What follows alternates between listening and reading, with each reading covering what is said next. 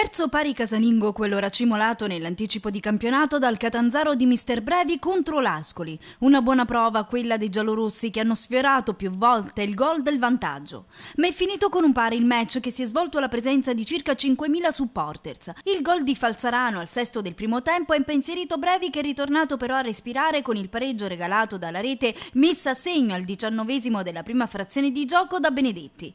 Il primo pari esterno, quello ottenuto al Ceravolo dall'Ascoli, che in trasferta aveva contato fino ad ora una sconfitta e due vittorie. Resta imbattuto invece il Catanzaro che si è distinto per un'ottima capacità di reazione contro un avversario che ha mostrato grande carattere subendo nel primo tempo la furia giallorossa ma riuscendo nel secondo a contenere i padroni di casa. La classifica provvisoria trattandosi di un anticipo porta dunque ragazzi di Mister Brevi al quinto posto in classifica e con 13 punti.